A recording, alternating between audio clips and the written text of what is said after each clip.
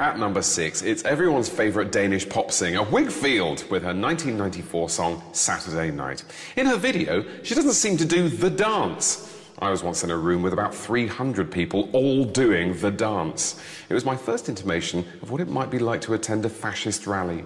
And I've been attending fascist rallies ever since. Here she comes.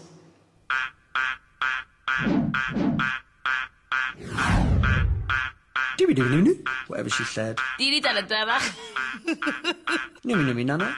Oh, didi da da. Didi da da da. I mean, I never had rollers in on a Saturday night. Heated rollers went out in the 70s. Saturday Saturday Night topped the charts for four weeks in 1994 and got a whole generation up and dancing. For me, it was the first dance craze that was of my generation, being in a pub, it coming on, and it feeling important that you did know the moves, that you were being left out.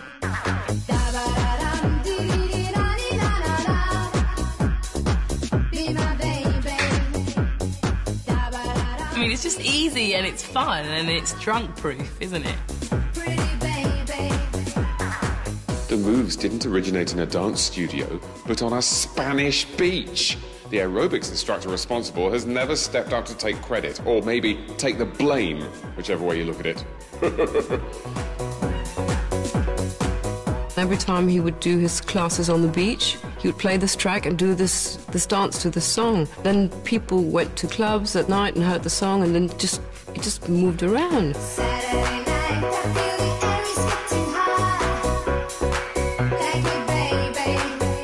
The record labels around they didn't believe in the song. They didn't like it very much. Um, it was actually a, a song that was built up by by by the audience. I mean, by uh, by the public. People just went on holiday in Spain and in Portugal and, and came back and requested the song.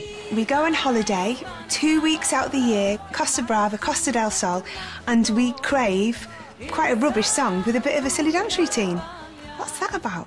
Es fiesta ya, no nos podemos retrasar. When, when you go there, it's contagious, and you come back and you're like, guys, I bet Whigfield loved doing that dance.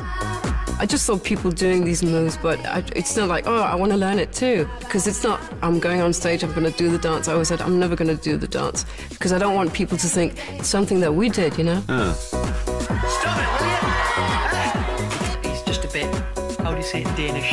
Thick. Yeah, thick, that's the word, yeah.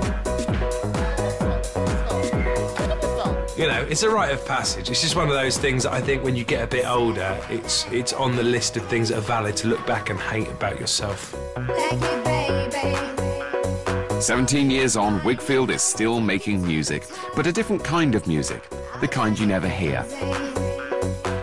I used to be quite sick of the song. I think maybe after one or two, three years. Um,